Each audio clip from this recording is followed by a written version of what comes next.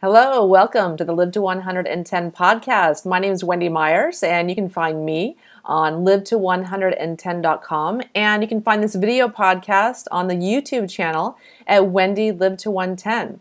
Today, we're going to be talking about the thyroid and how to heal the thyroid naturally, everything related to the thyroid, with our guest, Dr. Justin Marchegiani. Um, he's a, a, good friend of mine, and I was on his podcast a little while ago, and he's so knowledgeable. I just I really like him a lot, and I know you're going to love all the information he has to offer about the thyroid, healing it naturally, the supplements that you need to heal the thyroid and everything you want to know about testing and how to interpret your test results so for all you biohackers out there. Just keep in mind that this program is not intended to diagnose or treat any disease or health condition and is not a substitute for professional medical advice. The Live to 110 podcast is solely informational in nature, so please consult your healthcare practitioner before engaging in any treatment that we suggest today on the show. And I just got back from an amazing health conference uh, with my business partner that I'm starting my uh, bio rehab supplement line with. Um, we went to the Baby Bathwater uh, Health Conference uh, put on by Michael Lovitch. And it was really amazing. I met all kinds of amazing people Pedram Shojai and um, uh, Marc David of the Institute for Psychology of Eating. Uh, met just a lot of really amazing movers and shakers in the health field and made some great connections there. And uh, it was a lot of fun spending an entire weekend in Park City, Utah with them. Very, very interesting to meet all these people in person that I'd been uh, following for, you know, really for years um, on, on, their blogs and their podcasts, etc. But really, I think my favorite person was Padrama Shojai, who was amazing. Met Leanne Ely of SavingDinner.com. She was a blast, just hilarious, and uh, met uh, you know Steve and uh, Jordan from SCDLifestyle.com, and just a lot of people that I've had on the podcast already. So it was very uh, enriching for me and really exciting too. Uh, but I'll be, gonna, definitely be going to more of those in the future and meeting my, my fellow brethren in health and uh, try to save the world with them. so today our podcast guest is Dr. Justin Marchegiani. He's got an Italian last name. Uh, he started off his career in the health field working in a surgical center um, as he prepared for medical school at the University of Massachusetts. Uh, working in the surgical field gave him a firsthand, close up perspective into the healthcare system. Um, he was able to see it where it shined, especially in the area of treating acute injuries and trauma, but he also saw, saw its shortcomings, uh, which are most evident in the areas of chronic disease like you know, diabetes, heart disease, and obesity, which are our biggest problems today. And this experience shifted his focus from conventional medicine to a more holistic and natural approach to healing, where the underlying cause of his patient's health issues are addressed and not just medicated and surgically removed. Uh, Dr. Justin is a graduate of the University of Massachusetts at Amherst with a degree in kinesiology and pre medical studies. He has completed his doctorate degree in chiropractic from Life West University, and he has completed postgraduate study in the areas of clinical nutrition, rehabilitative exercise, and functional medicine so he can offer the most cutting edge techniques to address his patients' growing healthcare needs. Dr. Justin works with a wide variety of patients, uh, all the way from athletes trying to increase performance to heal from injuries to the everyday person with chronic health challenges. Uh, using a holistic approach, Dr. Justin addresses core underlying barriers to health, which allow his patients to heal faster and feel better. And his practice is located in Austin, Texas, one of my favorite cities. I'm from Texas, uh, it's where my heart is. And um, he, but he has his practice all over the world. You can contact him from anywhere in the world to uh, use his services and become his patient. Justin, thank you so much for coming on the show. Thanks so much, Wendy. It's great to be here. So, why don't you tell the listeners a little bit more about yourself and about your practice? So, I have a clinic here in Austin, Texas, and I say 80 to 90% of the patients that I see are worldwide. Patients last week from Saudi Arabia and Europe and Italy and Australia, New Zealand.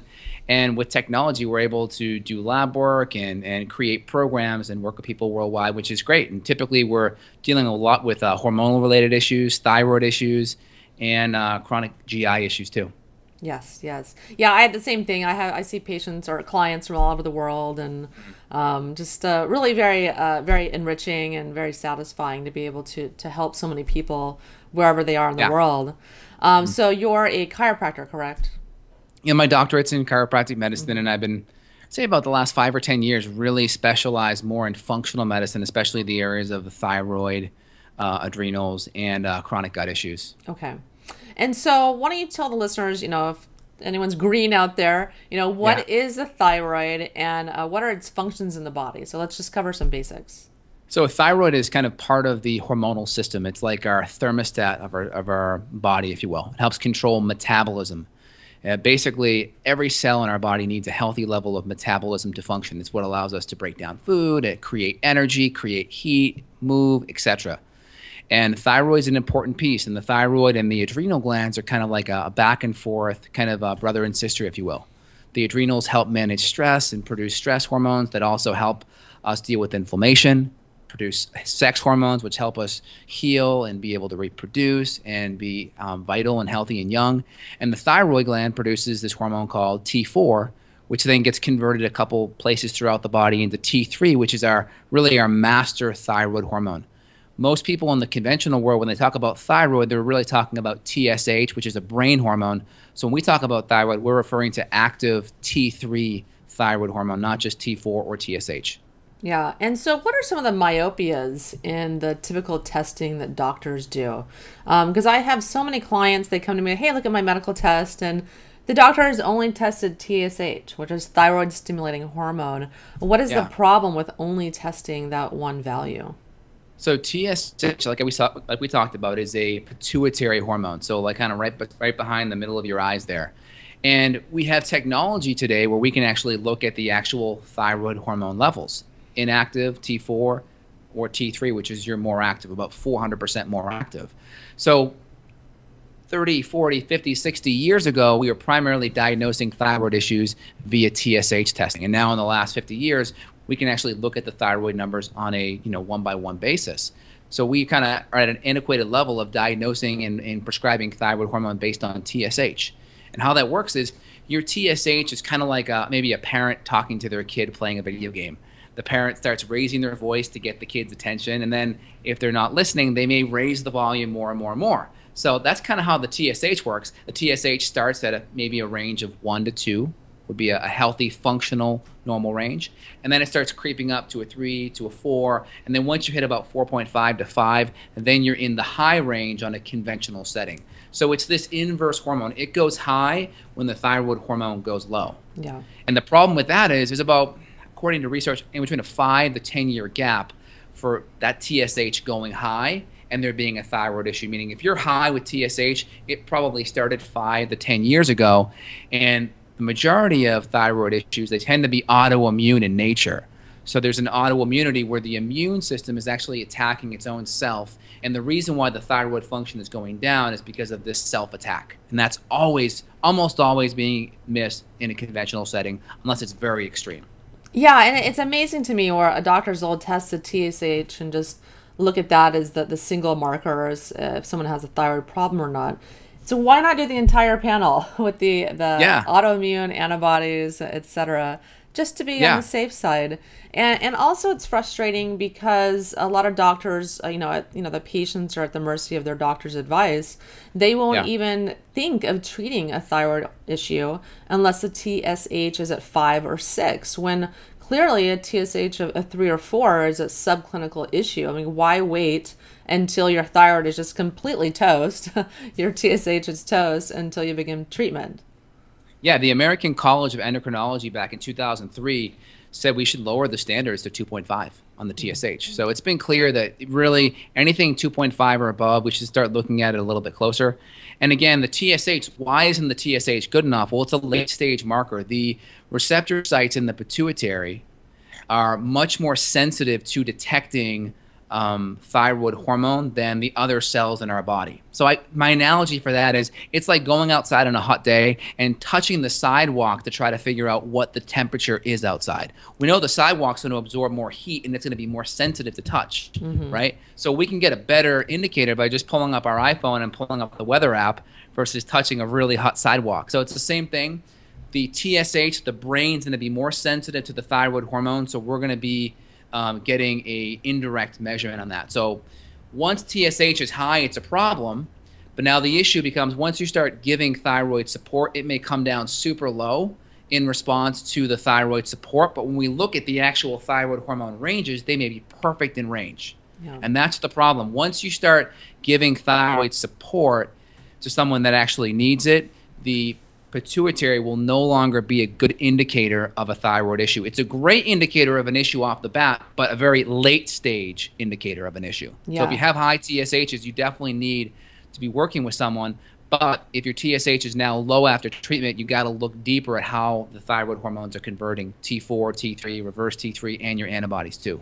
Yeah, that's a very, uh, very good distinction. Thank you for that. Yeah, and also let's talk about about reverse T3. Um, this mm-hmm. is another uh, market a lot of doctors don't test. Can you talk about the importance of reverse T3 and what that means to your thyroid? Yeah, reverse T3 is a metabolically inactive uh, hormone. It's basically your body's way of putting metabolic blanks in your metabolic gun, if you will. So imagine you get your gun, you put your bullets in it, right? You fire those; those are active bullets. You can you can do something with those guys. Now your body to slow the metabolism down puts metabolic blanks in. So it, it kind of fits in that receptor site. It goes in that uh, cartridge, if you will, that magazine, but it doesn't have the metabolic effect that that live bullet or that that live thyroid hormone will have. Yeah. And so it's your body's way of filling up receptor sites. So it's like when you come home from work, you know, you put your key in your lock in the front door and you open the door up. That's how it, it functions. And the body knows that and will kind of gum up the lock so you can't put that metabolic key in the lock and create a metabolic effect. Yeah. And so why why would someone have high reverse T3? Oh, great. So that's your body's kind of way of saying, hey, you're stressed, slow down, right? So part of the reason why you start getting tired is your body's like, hey, you know, our stress handling systems, our thyroid, are we're inflamed. We got to create, we got to actually focus more on healing. So it slows the body down as a way to kind of cultivate healing inward. But us, we just kind of, you know, us meaning not me and you because we get it but the average person out there says well more stimulants and and more willpower and just you know more drive more ambition and you know red bull like that's how we're going to fix that but it's not. We kind of have to look in and adjust what we're doing food wise lifestyle wise exercise wise and even supplement wise too I know for myself, I'm always looking for indicators of, of toxins and heavy metal toxicities uh, in various medical tests. And one of them is reverse T3. When that's over 10, definitely a sign of heavy metal and chemical toxicity as well. Um, so that's something interesting for, you know, for patients to note when they're looking at their own uh, thyroid tests. Yeah, reverse T3 is important. Um, there's been some research showing that selenium helps with reverse T3. Selenium is also a precursor to glutathione. Mm-hmm. Also, on your um, conventional blood test, an RDW over 13 can also be an indicator of lower selenium, which also connects down to the reverse T3 pathway. Mm-hmm. And stressed out adrenals, people yeah. that have elevated cortisol or depressed cortisol, you know, on the two extremes, that can be a good indicator that uh, are good contributing factor to reverse T3 as well. Yeah, and can you talk a little bit about the adrenal thyroid connection and how they work together in concert? And typically, when people have a thyroid issue, they're almost always going to have an adrenal issue as well because those systems work together.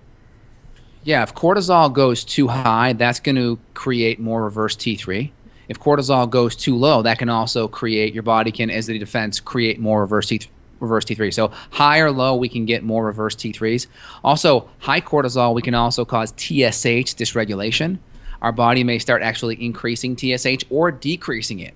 So when we have this super high amount of stress hormone, our pituitary can either go really high, which means the glands aren't listening, there's a, a lack of communication, or it can go really low where it's just kind of given up and said, whatever, you know, you guys do your thing. Kind of like the parent just you know, walking out of the room saying, I, I give up.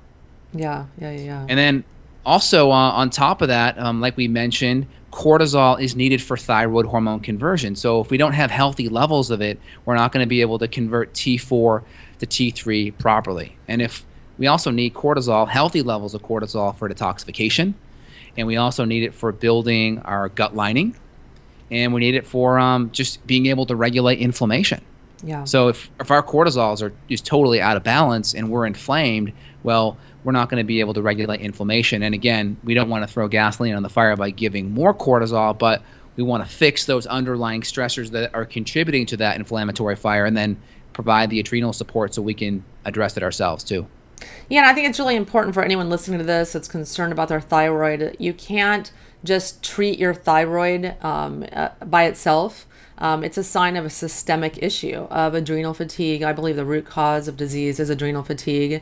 Starts this domino effect of uh, other Yeah. health issues in the body. So you really have to be focused on healing your entire body and doing uh, the foundational work with uh, you know nutrients and minerals, et cetera, and not just focusing on trying to heal your thyroid. It just doesn't work like that. Yeah, many people are also nutrient deficient. So your zinc and your magnesium and your selenium and, and all these really important nutrients are needed for healthy thyroid conversion as well. And um, we need the adrenals for healthy sex hormone output. So DHEA, DHEA sulfate's really important for our body rebuilding. And if we're inflamed, we need those building blocks to heal, right? Our, our adrenals are hardwired to deal with the stress in the moment versus the healing of tomorrow. That's kind of how we just evolved. And if we're chronically in stress, well, tomorrow never comes, right? Because we're always in the stressful state, so we never get that ability to heal. Yeah, yeah, yeah, and that's why it's so important to try to get enough sleep every night and try to do meditation and yoga and all these things to uh, counteract our very very stressful lives and doing everything you can to minimize stress, like getting rid of EMFs, re- reducing uh, you know exposure to EMFs, and just so many little things, so many little tweaks and biohacks that you can do to reduce stress. I agree. Like with my patients, we're getting them on an anti inflammatory diet, regulating blood sugar and sleep. And then from there, the first system is the hormones. And again, it's ATF, adrenals, thyroid, and female hormones, right? And I find most people with thyroid issues, the adrenal component is totally ignored. And they're just they're actually ma- being made worse because they may actually need thyroid support, but they're being put on thyroid support, which is actually causing them to burn through their cortisol faster, creating an even more deficient cortisol state. Yeah, and people don't realize that when you take uh, thyroid replacement hormones like Nature-Throid or Synthroid, etc., uh, or Armour Thyroid, it actually pushes your adrenals. Um, it really stimu- yeah. stimulates them and um, really can make your condition worse. Um, so I think that while thyroid hormone replacement, it does make sense for some people. Some people need it just to function, um, but it's Yeah. not the end all be all. And there's many other things that you can do. Can you talk about some of those things that you can do to heal your thyroid and, and even get off your thyroid medication? Well, just off the bat, just to piggyback on top of that, uh, even Dr. David Brownstein, he talks about putting people on adrenal support for at least one mo- one month before adding in thyroid support. So it's that important. So I typically go with if someone really needs thyroid support off the bat, like it's it's clear, then they have to go on adrenal support concomitantly with the thyroid. We want to make sure it's timed up together. But I always at least start the adrenal support first. But if they have an overt thyroid issue, then we'll do both at the same time. Yeah. Yeah, and I think it's uh, you know really important also to let the listeners know that you don't have to be on thyroid medication for life. Like a lot of doctors will tell you, every single client of mine, their doctor has told them once they start that they have to be on thyroid medication for life. That is a lie. Uh, you do not, unless you don't have a thyroid. Yeah, obviously you'll never be able to make it. Um, but can you talk a little bit about that and how you know you would uh, you address that and heal the thyroid so people don't have to be on thyroid medication for life? Yeah, so it depends on how long the thyroid gland has been destroyed. I work with patients that may have just a little bit of TPO or, or uh, T, TGB antibodies. These are various antibodies, uh, thyroid binding globulin antibodies or thyroid peroxidase. These are compounds that help build thyroid hormone. And when we start making antibodies to it, we're attacking them and collateral damage happens to the thyroid as well. And we get these B cells, which are part of our immune system, and they infiltrate the thyroid gland and they create where these wonderful follicles are that hold thyroid hormone, they create fibrotic scar tissue. So fibrotic scar tissue means that that tissue is no longer functional. It's no longer active thyroid um, glandular. So when it comes to that, depending on how much destruction is there, depends on how much the patient can fully recover with or without thyroid hormone. Yeah. So typically, you know, if they've had thyroid um, TPOs in the thousands, you know, over over decade or two decades, that may indicate how much thyroid they need or how if they can recover. It really depends on how long the damage has been happening for, and what other things they're doing. Like if they're eating gluten, or if they have infections, or they have low nutrient levels or leaky gut. Well, if they don't get that fixed, yeah, they'll probably need thyroid hormone forever. But if we get to the root cause, and if there's still some functional tissue that's still there, still viable, and we can help it heal, then we can get as much functional tissue back and then we can figure out what they actually need long term. And that changes from time to time too. Yeah. Yeah, and I've so, seen it go both ways though. It goes Yeah. both ways. Some people do need, some do because it's been like 20 or 30 years and their tis- their gland is just fried, and some can get back on. So it's like I kind of weigh it all individual.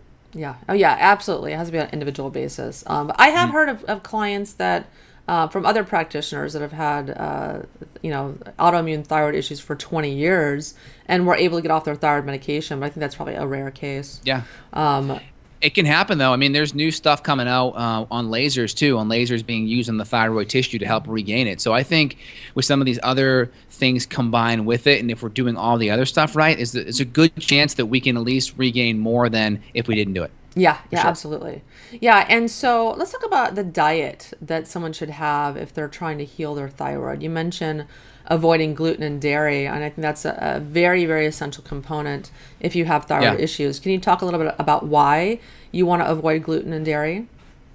Well, I even go to a farther extreme. The first month or two months with patients that we know they have autoimmune thyroid issues, they're on an AIP or an autoimmune paleo diet where mm-hmm. we're actually cutting out all grains, um, not just like allowing rice and corn. We're cutting out all legumes. We're cutting out dairy, even ghee, and then also nuts, seeds, and nightshades. Nightshades being tomatoes, potatoes, eggplants, and peppers, and even eggs for the first month. So basically, your diet is meat, it's non-starchy vegetables, maybe a little bit of safe starches like potato or plantains or yuca, and um, maybe some low-sugar fruit like berries, and then good healthy fats. So it's anti-inflammatory, uh, low in toxins, and nutrient dense. That's kind of the eating plan, and we're really focusing on stabilizing blood sugar, eating every four to five hours to make sure we're not having our adrenals come to the rescue to bring that blood sugar back up with a, a rush of adrenaline or cortisol. Yeah, so uh, intermittent fasting is out if you're trying to heal your It- adrenals. yeah, it's yeah. I mean, intermittent. I see a lot of people, especially females, they get into trouble with it. And I say use intermittent fasting on the weekends when it's a less stressed day going on. You're you're relaxing, you're walking the dog, you're watching a movie, you're reading a book. It's a more chill day. Do your IFs on those days where there's less stress going on. Yeah, yeah, that's a very good tip. Yeah, because I think uh, I have a lot of female clients trying to lose weight. They've got thyroid issues. They're they're desperately trying to do everything they can to lose Yeah. weight because their metabolism isn't working. Their thyroid hormones are not working, um, Yeah. or they're absent. So uh, I think that's a very good tip. That uh, you know, I know when I've tried intermittent fasting in the past, before I healed my thyroid and adrenals, um, I just couldn't do it. I my Yeah. I could feel you could feel that rush, that adrenaline rush. And that is not good. That puts stress on your adrenals and thyroid, and that will Yes. interfere in healing. Now that I've healed my adrenals and thyroid, I can do it, and I, I try to do it as many days as I can um, because I know ultimately it's good for autophagy and um, you know Yeah. other other health benefits. But I can do it now. Um, but you, it's you have to listen to your body. Uh, it's it's an individual. Yeah, thing. absolutely. It's individual too. Some people are super sensitive. Like my, I'm very, very blood sugar sensitive. Um, so I don't do it too often, maybe once or twice a week. But get healthy first, and then experiment. Yeah. You're better off getting the inflammation down and then seeing what you can tolerate. Yeah, everyone's completely different. You, I always tell uh, you know clients and I'll work on the podcast that everyone has to do what works for them, and you can't just read a book and just follow the book to the letter. It doesn't work for everyone. Everyone's different, so it's a Yeah. it's a never-ending goose chase. Which people, and- exactly. And No then regarding the diet piece, yeah, go ahead. uh, yeah, people don't want to hear that. They just want to follow a recipe in a book. And, Exactly. I agree. Yeah. Yeah. And then regarding the diet piece too, we were talking about. Um, let's just get into the macro stuff. So you have like your high carb, your low carb, your high fat, your low fat. So I typically default to a more um, high fat, moderate protein, kind of low carb kind of shtick and eating plan off the bat. And then from there, some people will do better with a little more carbs. So my general recommendation is 50 to 100 grams of carbohydrate per day, figuring out what works for you. And protein anywhere between a palm to a fist to a full hand, palm, full fist, full hand, three to six ounces per meal, depending on stress, activity level, workouts, digestion. So we kind of customize it and work out the macros, meaning protein, fat, and carbs, and you know what you need to be successful. And then regarding the glutens, well, the proteins that um, amino acid sequence in the grains is very similar to the amino acid sequence in the thyroid tissue. And what happens, we get this mistaken case of uh, identity, um, molecular mimicry, as the medical uh, world calls it, where the antibodies that are going out to attack the, the very similar tissue. So it's like the police calling an APB for a, a black Honda Civic, and guess what? You're driving a black Honda Civic, but you aren't the criminal, and you get pulled over. Yeah. So that's kind of what happens with our immune system and the thyroid gland. I like that analogy. Good. That's good. yeah. Good. Yeah, and same things happen with dairy. Uh, the proteins dairy similar, very, very, similar to our thyroid. So those are just out. And pancreas. Yeah. Okay. Yep. Yeah, those yeah. are those are out. So I hate to break it to you guys. If you have gluten and dairy, wheat, it's just by cutting out wheat, you're you've hit you know ninety percent of the battle. But that's still yeah. rye, uh, n- gluten, uh, oats that are not gluten free, uh, and barley are problematic as well. Absolutely, I agree. So you talked about some of the supplements that people need for their thyroid, and uh, there's certainly a different support that people need based on whether they have just rant basic, you know, hypothyroid or Hashimoto's autoimmune thyroid issues. So let's talk about some of the supplements that one would need for just basic general hypothyroid, low thyroid functioning. Right. So as long as we have all the adrenals issues supported, so that could be some nutrient support for the adrenals, B5, zinc, um, vitamin C, your overall adaptogenic herbal support to help modulate cortisol. This could be like your ashwagandha, your rhodiola, bacopa, eleuthero, and then various precursor hormones like DHEA or pregnenolone and glandular tissue. As long as we have kind of the adrenal stuff dialed in, then we kind of graduate to the thyroid element. And if you have elevated TSH, you want to get a thyroid glandular on board, at least something with some hormone in it to bring that TSH down just from a med legal perspective. You don't want to get sued. So you want to make sure you either refer out to a practitioner. Again, I try to always avoid things like Synthroid or Levothyroid or Levoxyl because it's synthetic T4 and one, there's some fillers in it that cause issues if you're autoimmune, which 50 to 90% of the population are. And even if you aren't testing for it on your TPO or TGB test, well, 40% are false um, negatives. So there's a good chance that you are, even if you don't think you are. So we'd rather go with like a Nature-Throid. My favorite's a Westhroid because it's got no lactose in it. Um, over, you know, even an Armour. Armour still has some uh, cornstarch in there. So I much rather do a uh, Westhroid or a Nature-Throid. And I have a, a, glandular that I use in my clinic. That's one that I I formulated that helps knock these numbers down really well and support the thyroid. So I use that primarily because I can ensure that there's no additives in it too. Yeah. Yeah, and let's talk about some of the glandulars. Um, I give all my clients glandulars if they tolerate them um, because yeah. they have the minerals in them uh, that help to nourish yeah. and regenerate the thyroid and adrenals. I don't like to give thyroid glandulars by themselves. I prefer to do adrenal and thyroid glandular and pituitary just to support the the trio, the mm-hmm. HPA axis. Um, mm-hmm. So, can you talk a little bit about you know why we want to take glandulars? Yeah, glandulars are phenomenal. Again, a lot of companies say they don't have active hormone in it. Again, I've seen lab tests that will say otherwise. So there are some potential active hormones in, in there, even if it's more at a homeopathic level. It's powerful. Again, the hormones, like you said, they contain the minerals, they contain the nutrients. Again, hello, why did the Eskimos not get scurvy up in, up in Antarctica? They got vitamin C, which is the deficiency called scurvy. They got vitamin C through eating the adrenal glandular tissue. So you can get lots of nutrients and lots of um, minerals and nutrition via the actual glandular tissue, which is great. And then also there's this kind of regenerating effect where it, it helps rebuild that gland in some what they call it protomorphogens or PMGs. There are these specific proteins that actually help trigger rebuilding of the gland. So using a glandular is powerful with the adrenals and the thyroid. I think a lot of people make mistakes and only do that as the core part of their program. I think as long as you have it as a part of your program, you're in a good place. Just don't make it the be all or end all. And then regarding yeah the pituitary, you can totally do glandulars for the pituitary, and or just really good adaptogenic herbs. So one of my favorite herbs for the pituitary for the uh, hypothalamus and pituitary is ashwagandha. Yeah. A lot of research on that helping with the HP axis, and also it helps with T4 to T3 conversion. Which is great, and it's very high in. It's really good um, for iron too with females. There's some good iron in there too. So if you're dealing with people that have thyroid issues and are anemic, especially you know our female patients, then that's going to be very helpful for that too. Yeah.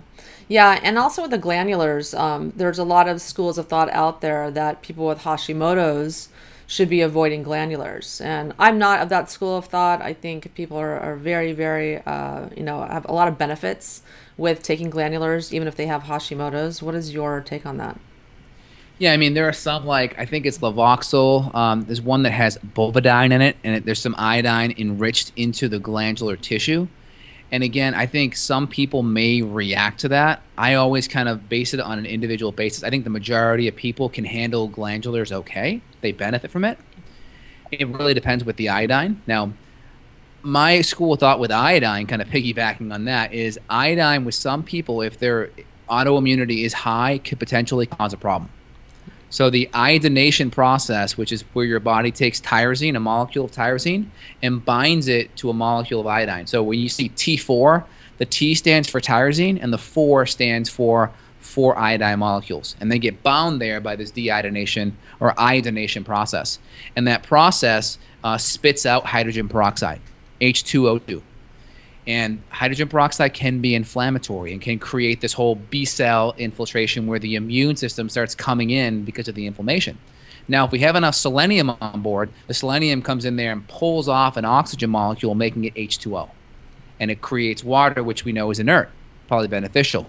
So we can reduce a lot of that inflammation with the iodine by just really supporting selenium. So uh, my focus is the first three to six months, I don't do any additional iodine outside of the RDA if there's autoimmunity, and we focus more on the selenium and the other nutrients so we cool down the inflammation and then get the inflammation down, and then you can tweak the iodine a little more. Yeah, yeah, yeah, absolutely. Yeah, and so um, I also like to give clients uh, pantothenic acid or B5.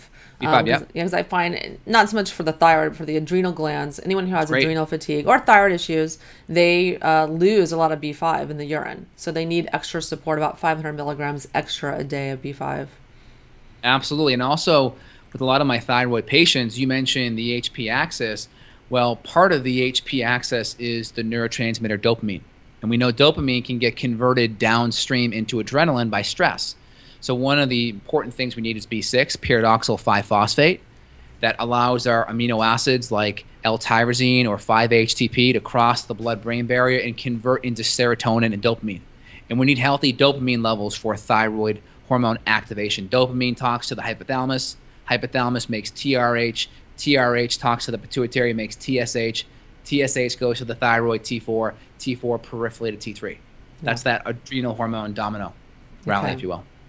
Yeah, and so let's talk about um, the supplements that are going to be good for someone with Hashimoto's. Um, are there any sp- different nutrients that you or that you like or avoid when someone specifically has autoimmune Hashimoto's?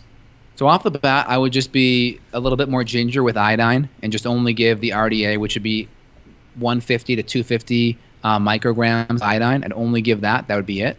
No supplemental iodine. I would really focus on at least 200 to 400 micrograms of selenium. And then just all of the extra support we talked about the zinc, 30 to 50 milligrams of zinc, magnesium, probably a half a gram of magnesium. A lot of these could be found in a really good multi and or adrenal support too. Um, your zinc, like I mentioned, the B5, the B6, you know, probably three grams of vitamin C per day, and then all of your adaptogenic herbal support. So I typically go with a good quality multi, a good quality adrenal support uh, that has more adrenal based nutrients, and then my herbs and my precursors and my glandulars. I kind of mesh them all together when I create a program for a patient. So when you're saying talking about iodine, you typically have uh, Hashimoto's patients avoid kelp. Yeah, I typically do that off the bat. Um, again, like there would be about 250 of micrograms of potassium iodide and multi I typically work with. I find that safe to be working with. It's when you get into the higher ranges that's what I get really, um, really just on edge about because I've seen a lot of patients react and lose hair and have issues with higher levels of iodine. Yeah. Okay. early on, early on for sure. Okay. Yeah, and so let's talk a little bit about uh, when blood tests are normal and clients are still having thyroid symptoms and thyroid issues, very clear indicators of thyroid dysfunction, but their tests are normal. Can you talk a little bit about why that would be? Well, most people that I see that say their tests are normal, they're typically just referring to TSH and maybe T4. All right. So most of the time, we're not even talking about the free fraction of hormones. So about 98% of hormones are protein bound. So when we say T3 or T4, we're really talking about the protein bound hormones. That's that's number one. Only 2% actually have the ability to to park in the parking spot or put the key in the hole, if you will, right there, unbound, so they can get in and they can bind in and have a metabolic effect. So we'd want to look at the T4 free, and then also from there, look at the conversion from T4 to T3. So, for instance, my T4 ranges I like 1 to 1.5 on T4 free. I like between 8 and 10, 7 and 10 on T4 total, above 100 and 100 to 160 on T3 total. I like reverse T3, you know, I below 15. I'll do the T3 reverse T3 to free T3 ratio, which is powerful, and I like my um, TSH below 2.5. Okay. That's a good general range for myself. Yeah, and, and I, then, I've. Oh, go ahead. And then T3 uptake typically in the upper 20s, low 30s, 28, 29, 30. Okay. Yeah, and uh, one interesting thing that I found with my client population is that when uh, I have, you know, a, a you know, good handful of clients that come to me that have totally normal thyroid tests. Uh, they have the full range of tests and everything's normal, um, but they have the thyroid symptoms. And I found that when they have really high calcium levels in their tissues, which I see on a hair mineral analysis, you don't see it in blood, but you'll see it on a tissue test, like a hair mineral analysis. Yep. Um, this high calcium levels in their tissues will block the receptor sites in the cell membranes mm-hmm. and prevent thyroid hormone from getting into their cells to activate when they have plenty of it floating around.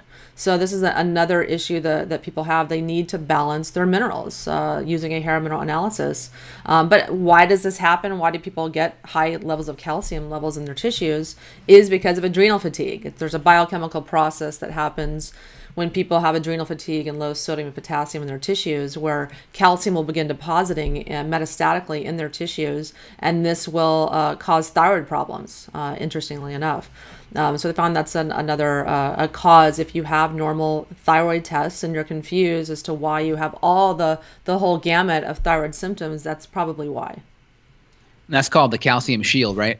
Yes, or shell. Calcium shell. Uh, calcium shell, yeah, and that basically what you're saying is the imbalance in those adrenal nutrients, uh, they're low, which thus causes calcium to raise, and our body always puts calcium into tissues that are inflamed, right? Yes. Yeah, absolutely. Calcify joints and tissues and tendons and all that, leaches it from the bones and etc. Yes, yep, absolutely. That makes a lot of sense. Yeah, absolutely. Makes a lot of sense. Yeah, and mm-hmm. it doesn't even have to be that high. Um, it can just uh, the calcium doesn't have to be a complete calcium shell, um, but it does cause lots of problems, and it's very very common because so many people have adrenal fatigue. Um, so I thought that's uh, really, really interesting. So let's talk about detoxification of the thyroid. And mm. I think this is another issue that even if thyroid tests are normal, you can still mm. have lots of toxins built up in your thyroid. Can you talk about mm. some of those toxins and how metals and chemicals affect thyroid functioning? Absolutely. So again, we have like things that are in the halide group. I think it's the seventh row on the periodic table. Don't quote me. Um, but these are things like uh, fluorine or bromines, and these are going to come from again the bromines are going to come from Mountain Dew. It's going to come from breads. We, we used to iodate things, iodize things, and now we put bromine in a lot of our breads. And because that's in that same periodic table in that halide group, that can go in and kind of pinch hit um, for iodine, if you will. It can get into the receptor site, and where iodine would kind of do its job, it can pinch hit for them and create problems. So that's a big one. Also, bromines in a lot of the flame retardants, the PBDEs, polybrominated diphenyl ethers. That's a big one. So these are huge. Again, these typically are water soluble. So if we just avoid them, avoid the junk foods, avoid the breads, get healthy levels of iodine in, eat some good iodine rich foods as long as we're not too inflamed, uh, this can kind of help displace a lot of that. Yeah. Also, fluoride. And they did a study, I think, just this last year. They looked at people, I think, in the UK, and they looked at two families or two um, two different towns or districts. One was fluoridated, one wasn't, and they saw a significant rise, a statistically significant rise in the territory of um, the fluoridated group that was hypothyroid. So more hypothyroid patients in the fluoridated group. And it's the same thing. That fluoride molecule, because it's a halide, it can go in there and pinch hit for iodine. So those are the two big ones I'd say we got to be careful of. The next would be just all your xenoestrogens. The, tricl- the triclosan, which is the natural antibiotic, shouldn't say natural, it's the antibiotic that's in a lot of the soap products. That can be an issue. A lot of the estrogenic compounds that are in our pesticides, uh, organochlorines that are in our pesticides, a lot of the xenoestrogens that are in our plastics. These are all going to cause problems and antagonize um, thyroid hormone and antagonize our thyroid binding globulin. Yeah. More estrogen, whether it's from plastics or pesticides or birth control pills, that can increase our binding globulin and cause it to bind up our thyroid. And if our thyroid's bound up, it's not going to be able to bind into the receptor site. It's got to be free so it can go into the receptor site and do its thing. Yeah, estrogen dominance is a big problem because of the xenoestrogens, yeah. women taking hormone replacement therapy, especially unopposed with progesterone, uh, which some doctors are still doing uh, uh, yeah. amazingly, and from birth control pills and uh, other forms of birth control. Huge, huge problem with estrogen dominance. It is. And the first thing we can just all do is just get a really good, clean water filter. I'm, I, my, I have a whole house water filtration system as well as a countertop reverse osmosis that also has a step that infuses all the minerals back in. And I also pinch salt in, into my water as well. So I really drink super clean water that's double filtered and remineralized twice. So that's a big thing. Eat organic food, right? Avoid the all the junk food that's going to have the bromine in it. Be careful with your mattress. At least get something that you could put over it that's an airtight kind of uh, mattress cover, so you're not getting the PBDEs, especially for your kiddos that are you know, they make all these baby products have to have PBDEs now in them, and it's terrible for the kids. Yeah, and so the car the car seats too. The car seats have the flame yeah. retardants, and uh, every mattress in California has to be sprayed with flame retardants, and you're breathing that you're breathing that in every single night. Oh yeah, and the majority of fires. I mean, I could be wrong, but I think they're caused by cigarettes. So unless your baby's smoking or something, yeah, I mean, come on, it shouldn't be an issue. So off the bat, I mean, those are the big ones from a diet and lifestyle standpoint. And the next is well, we'd want to do testing to see how your detox pathways are doing. So we talked about selenium being a really good precursor for glutathione, and a lot of people that have thyroid issues have low selenium. So if we take that out a couple steps, that they have low selenium, is a chance their glutathione pathways could be impaired. So I like running a good organic acid test that actually looks at all these organic acids, which are like the exhaust of our metabolism, and there's a whole set of them for um, the detox pathways. Yes. I'll actually read them out for you here.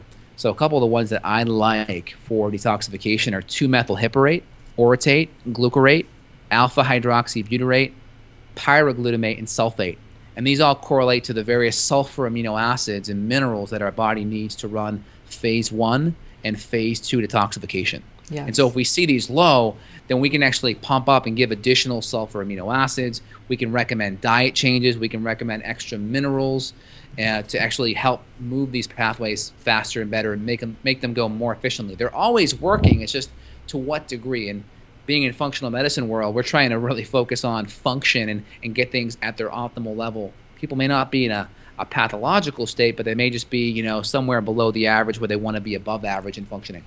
Yeah, that's me. yeah, yeah, and the uh, also the sulfur-containing amino acids uh, that are so yep. important for NAC, methionine, yep, taurine, glycine, glutamine, cysteine, exactly. And those are all found in meat. So people that are not yep. eating meat, that are vegetarian, which I found I was vegetarian for a couple years, thyroid adrenal is completely tanked. I mean, they were definitely not functioning optimally prior to that experiment. Um, but uh, when I stopped eating meat, they, it destroyed my adrenal and thyroid health, and I really started manifesting a lot of symptoms, which uh, thankfully drove me to starting my website and uh, researching health and everything. Yeah. So you guys can thank me becoming vegetarian for uh, all the information I'm putting out. Uh, but so let's talk a little bit about uh, how important it is to eat the sulfur-containing amino acids in meat because there's not so many of those amino acids found in vegetables. Yeah, so in meats, you're typically getting more methionine and more lysine. Uh, these are really big um, sulfur-based compounds. Also, like things like bone broth, you're getting more proline, hydroxyproline. These are things that really help with the gut. Glycine as well. So these are really important. And we need glycine, we need cysteine, we need glutamine to make glutathione. So we need these amino acids to make our master antioxidant, glutathione. And a lot of the plant-based proteins, one, you got to eat a whole bunch of carbohydrate to get a little bit of protein. So in other words, rice and beans. That's your typical veg- vegetarian kind of uh, combination to get protein, complete amino acid. well, you got to get I think 60 to 70 grams of carbs for 15 grams of protein, right? That's or you can just have like it's a lot of carbohydrate. I mean, I would need at least 40 per meal. I'm, I got to consume 150 carbs per meal. Forget it. I'd be like the Stay Puft Marshmallow Man. Yeah. I mean, you're much better off having four to five ounces of grass-fed meat with some kale and some maybe some butter or something. Then you can get all this good protein, small amount of carbs, but the carbs are nutrient dense, right? And then you get all these extra sulfur amino acids that you're not going to get at high enough levels from vegetarian proteins. And Yeah. then, not to mention, you're just avoiding a lot of the um, mineral blockers or the mineral disruptors like the phytic acid and the oxalic, a- the oxalic acid and the lectin inhibit the lectins and all these trypsin inhibitors that break that affect how we break down protein, which are all going to be in like our beans and all of our grains and all of our vegetarian proteins. So we have problems with minerals, problems with proteins, and then we can't even break down what's in there efficiently because of those mineral and protein disruptors. Yeah. Yeah, and then when you're eating all those mineral and protein disruptors, um, you're also, you know, when you're blocking thyroid function to a certain degree because you need the minerals in meat. A lot of people think of meat as just protein, but that has those sulfur-containing amino acids and they're mineral rich, which your thyroid and adrenals need to function. So definitely Yeah. a, a double whammy you're getting if you are vegetarian, unfortunately. Yeah, and it takes about I think six pounds of chlorophyll or six pounds of grass for a grass-fed cow to accumulate that into one pound of meat. So when you think of meat, think of it as a bioaccumulated, like a superfood, a super concentration of all of this plant matter into one pound. So it's really a superfood, and then glandulars or eating the actual glandular tissue, liver, etc. That's even like on top of that. That's like even more concentrated. So you mm-hmm. get the most bang for your buck really in animal proteins, Yeah. animal foods. I agree. And do you think people, if they are vegetarian, that they have any hopes of being able to heal their, their thyroid? Well, I mean, off the bat, if you're vegetarian, one, if you're doing a lot of cruciferous vegetables, they're that, those are like some of the best vegetables to eat, but you should at least make sure you're cooking them to break down some of the goitrogens. So the goitrogens are these things that block iodine, and we do need to make sure we're having whatever iodine we're getting in our diet to be absorbed so we can make um, thyroid hormones. So we don't want to disrupt it by eating a whole bunch of raw green vegetables like your broccoli and your Brussels sprouts. So if you're vegetarian off the bat and you're, you know, you're really kind of stouch and like I'm not going to change. Well, one, we got to at least cut out the crappy vegetarian foods like the grains and all of the the fake soy stuff. Uh, get some free form amino acids on board that are already pre-broken down, ready to go, and at least be on a high quality pea protein that can supplement the amino acids you need without all the lectins and out all the carbohydrate along with it. So I have some patients that are vegan vegetarian and that we work with them to compromise sometimes with some egg yolks. So I know it's not necessarily vegan, but it's more vegetarian now. With some egg yolks, we'll add in free form aminos. We'll focus on safe starches if they can handle the carbs. We'll focus on the right vegetables. If they're cruciferous, we'll steam them or saute them. Good fats, at least coconut oil based, at least avocado based, maybe some nut based. And we'll really just cut all the crap out of the vegetarian slide and I'll, I'll just slowly start to increase uh, supplemental aminos and kind of negotiate maybe adding in some plant uh, or some animal uh, proteins or glandulars if we can. Yeah. Well, that's great. And I think that it's, you know, you have to try to supplement uh, the deficiencies in the vegetarian and vegan diet as much as you can.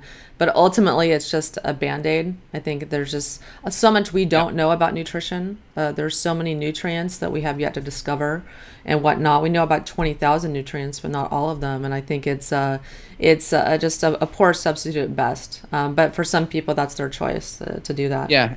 And the choice really tends to be more emotional. And I just tell my vegetarian patients anything you eat has to sustain life. All right. Um, I think it's kind of a misnomer to think that your plants really aren't that alive. I mean, I think if you read, I think it's Cleve Backster's book, The Strange World of Plants, where he hooks electrodes up to plants and, and kind of uh, approaches them with scissors, making this scissor kind of noise. and the electrodes on the plants go crazy because the plants are like sensing what's going on. They're about to be dinner, if you will, or lunch maybe. So I think the whole idea that plants aren't alive or they aren't as sentient because we can't see their parents, we can't see their smiling faces, and we can't pet them like we can with animals, that they aren't alive. And I think they are, maybe not to our you know sensory perception. So anything we eat, anything that nourishes our body has to be alive in some way or the other. Yeah. And just remember, you know, it takes life to sustain life. No, my uncle, he was uh, he was a hippie, and he lived he lived in Austin, Texas, and nice. he not that you're a hippie, but that's just what he was. And he was he was in love with gardening and growing vegetables, yeah. and so he was trying to break the world's record for growing the world's tallest tomato plants. And one of the things wow. that he did was he talked to the plants and he sang to them every day. And he found the plants that he talked to and sang to, they grew much faster. And the plants that he didn't talk to and sing to, that they didn't grow as fast. So he unfortunately wow. only made it to 18 feet. he didn't make it to the uh, the 30 feet uh, to break wow. the world record. Uh, but he got close. He was actually learning from the guy who was, uh, uh, you know, being um, uh, he was being mentored by the guy that had the 30 foot world record. That's crazy. But he, couldn't, crazy. he couldn't quite get there. Uh, but yeah. yeah. Yeah. So I look at it as like, you know, I give thanks for whatever food I'm eating, and I look at it all as the same. Like, you know, thank you bacon, thank you pig, thank mm-hmm. you kale, and I kind of have this like state of gratitude. It really helps kind of put me in that or that parasympathetic state, so I can digest my food better, making sure I chew my food enough, and then really just remembering that all food has to have some level of life in it to sustain your life. And I think if vegetarians or vegans had more of that perspective, they would see that it's all life. Yeah, yeah, that's a, a really beautiful statement. Absolutely. And uh, so, uh, one thing we forgot to mention was in talking about the, the toxic uh, chemicals that can affect the thyroid uh, is chlorine. Uh, we talked oh, about oh, yeah. some of that. Forgot to mention that. Yeah, we, yeah. we talked about the other halogens, the, the bromine and the um, the fluoride. But chlorine is a, a huge component uh, because if anyone goes swimming, they go on a jacuzzi, they're showering um, in tap water, they're breathing in chlorine gas, uh, or, or they're cleaning with bleach um, which many people yep. do at many work offices. I think people are being just absolutely bombarded with chlorine every single day, and it's depressing their thyroid function. It's why we have a thyroid epidemic in large part. Can you talk a little bit about that? Yeah, get a good high quality water filter. Again, even a shower filter is essential. Shower filter is not as essential for fluoride because the molecule is much bigger. It can't quite fit to the skin but chlorine can vaporize and go to the skin. So you definitely want a shower filter if you don't have a whole a whole house filter like myself, and you definitely want to make sure you have a good countertop filter or a whole house as well. What do you think is the most pressing health issue in the world today? What is the most pressing health issue in the world today? That's really tough.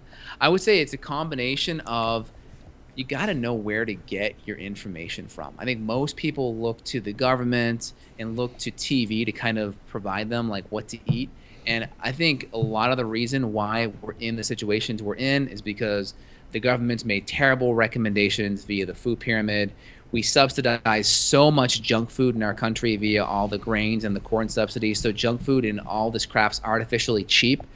I think a lot of people don't realize how much we've been kind of misled in that standpoint, and we've been pushed in a direction where all this food that's super cheap is super bad for us. So I think making sure you really find good sources whether on the internet or books and stuff you read, and educate yourself because it's going to be a bottom up approach in how we evolve with health. It's not going to be a top down. Like if you're looking for Obamacare or if you're looking for your conventional MD or for the government to give you the magic solution to be healthy, it's just not going to happen. It's going to be grassroots. So tune in to people like yourself, your podcast, my podcast, uh, good bloggers, good books. Get informed and try it again, you can kind of pick it up and put it on like it's a new suit, see how it feels. And most people that do what we say, they get energy and they feel better and they reverse a lot of their health issues just naturally. Yeah.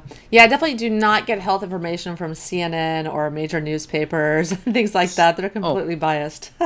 absolutely. I mean, let's face it, there are six major companies, um, six major news networks, and majority, 60% of those ads are drug based. Mm-hmm. And there's just no reason to put any nutritional information that could drop their sales, right? Yeah, absolutely. People eat good. Yeah. Yeah, and they're not going to have any kind of ads or information or negative press about that's going to uh, fly in the face or insult their main uh, advertiser that's giving them all the money to to run their show.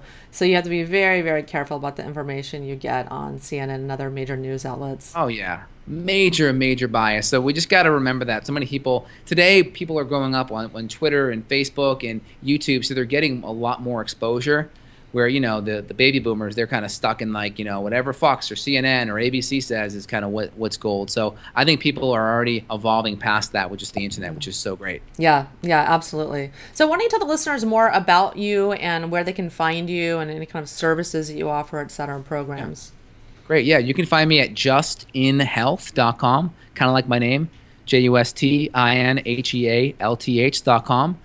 Also, my podcast over at beyondwellnessradio.com. We have full podcast transcriptions over there, and um, we have people like yourself and, and other great um, health advocates over there providing lots of great free information. And then my, my thyroid site, which is fixyourthyroid.com, which is really focused on getting to the root cause of thyroid issues and just I get lots of free information. Subscribe to my newsletter if you're interested in getting more information on a, a patient uh, doctor level. Feel free and sign up with me, and we can talk about getting you to the next level. Great. Well, thank you so much, Justin. Thank you so much for coming on the show. That was so informative, and I know all the listeners are going to love it because I learned a little bit too myself. Um, Great. But yeah, because I like how detailed you were with your descriptions awesome. and everything.